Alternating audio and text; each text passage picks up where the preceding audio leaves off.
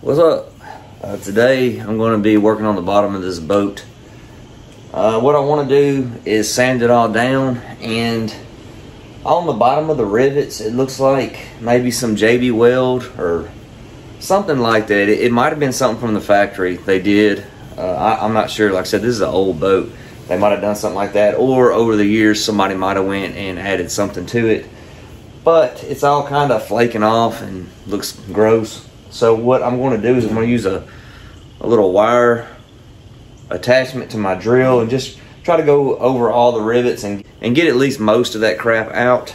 And then I'm going to take a little mouse sander and sand the whole bottom of the boat. Probably want to, you know, come down a little bit too and sand these rivets that's kind of on the side.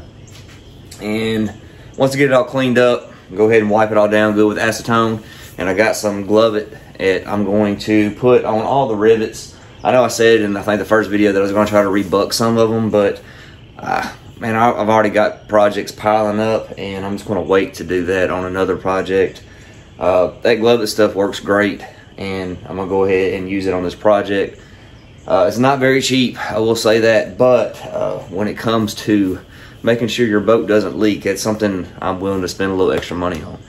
Uh, like I said, dude that I bought it from said it didn't leak. Uh, it was holding water because I got the drain plug issue and I didn't notice any of them leaking. But, like I said, I want to go ahead and clean it up. And, uh, you know, some of this, whatever this epoxy or JB Weld, whatever someone has in here might be preventing some of these old rivets from leaking. So once I knock all this crap out, I definitely want to go over all of them with something like Gluvit. So, that being said, let's get to work.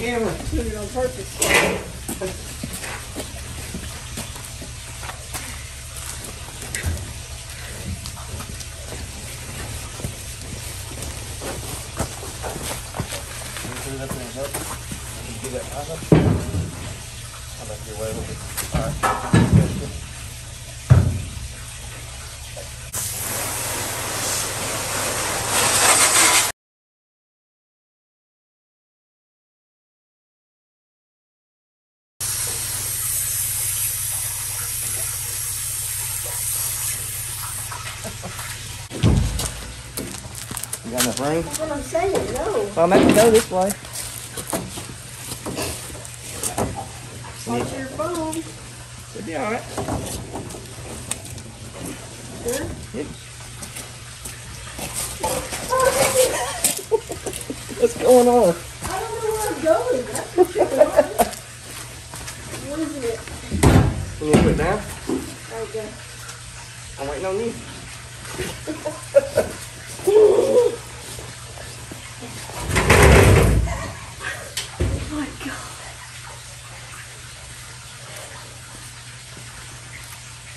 Oh.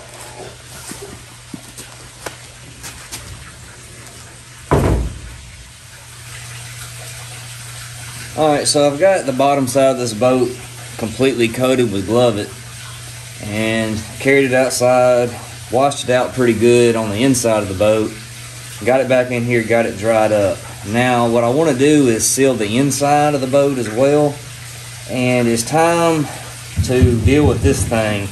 Um, I think in the first video I said that you know I was going to try to get it out, and I tried. I tried heat and that didn't work. I mean, I couldn't even get it to budge. And it's actually smoking and looking at it, it looks like somebody epoxied it in there or something. So I'm scared to put too much heat, you know, the risk of tearing up or warping the bottom of the boat. And actually, you probably see I already drilled a hole over in this side just to get the water out because I already decided to go ahead and add another plug. And what I came up with was just this brass plug right here. I think I got it on eBay for like 10 or 12 bucks something like that a little two piece uh, it's a little bit thicker than I really wanted the depth of it but I'm going to try to find like a little vent to go on the bottom of it kind of like this one is on the bottom to kind of protect it uh, so what I'm going to do is drill a hole out with a hole saw this is about the exact size of it. And I'm going to use silicone all the way around it and then silicone on the bolts, which I haven't even dug out any bolts yet. But what I'd like to do today is go ahead and drill out the hole for this and get it siliconed in place. And probably go ahead and drill out the holes for these and go ahead and mount it good. That way I can go ahead and start sealing all these rivets on the inside and start laying paint down on this thing.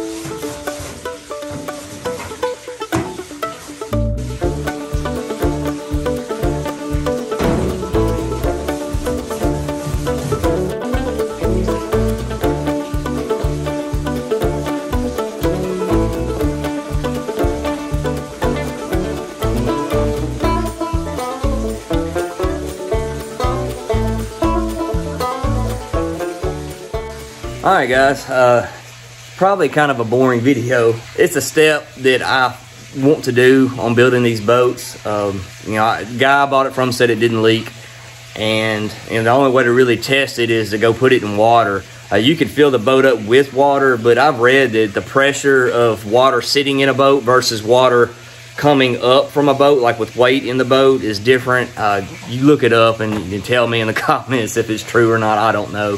Gluvit, you know, it's kind of expensive, but it's made for marine applications. So um, it, it's made to withstand water and flex that a boat's going to have, whereas stuff like JB Weld, not really made for this application. Just like on the bottom of this boat, you saw where it was flaking up. It's going to flake up over time. With that boat flexes, it's not going to flex with the boat, this stuff is supposed to. So, like I said, it's a little pricey. But if you measure it out, the mix ratio, you can get a pretty good bit out of that little can. You know, like I said, it's I've not even used half of it yet, and I've pretty much got this whole boat done. We also got that drain plug fixed or tended to. We have a drain plug put in now.